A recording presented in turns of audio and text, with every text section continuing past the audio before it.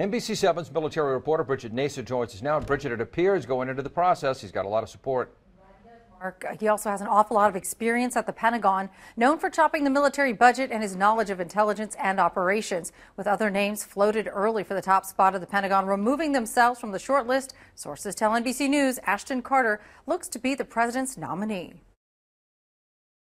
to the Pentagon. He served as Deputy Secretary of Defense for two years, beginning in late 2011. He's somebody that does have a detailed understanding of the way that the Department of Defense works.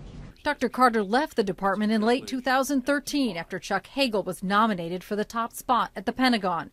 Hagel served less than two years before resigning last week, reportedly forced out by the administration. Local political analyst John Dadian says Carter is an excellent choice for a replacement. But he knows the department. He's been there. And so there's, there's no learning curve for him. And that's very important going in with just two years left. Prior to being Deputy Secretary, Carter served as Undersecretary of Defense for Acquisition, Technology, and Logistics. He handled the military's operational needs under a tight budget, including sequestration, and strengthened the military to face emerging threats. While Hagel had combat experience, Dadian says it's rare for a Secretary of Defense, and he doesn't think a lack of that experience will affect the way the Joint Chiefs will feel about this appointment. So uh, there won't be any sea change, and I think the military will like that and appreciate that. As far as confirmation, even with Republican John McCain soon to chair the Senate Armed Services Committee, experts say Carter should have no trouble getting the nod.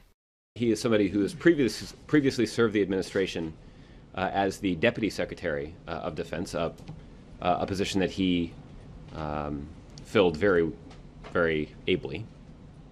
He was uh, confirmed by the United States Senate into that position in uh, September of 2011 with uh, by unanimous consent.